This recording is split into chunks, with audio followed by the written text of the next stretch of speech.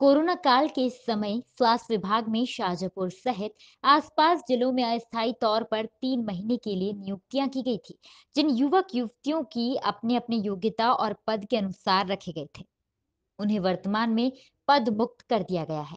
इसी बात से नाराज़ होकर आज लगभग डेढ़ दर्जन ऐसे अस्थायी कर्मचारी सीएमएचओ शाजापुर कार्यालय पहुँचे और उन्होंने सीएमएचओ को लिखित में ज्ञापन सौंपा है, जिसमें उल्लेख किया गया है कि हम अपनी सेवाएँ बरकरार रखना चाहते हैं, लेकिन हमें पद मुक्त कर दिया गया। कृपया हमें दोबारा अपने अपने पदों पर रखा जाए। शाजापुर से हरीश कुशवाहा की रिपोर्ट।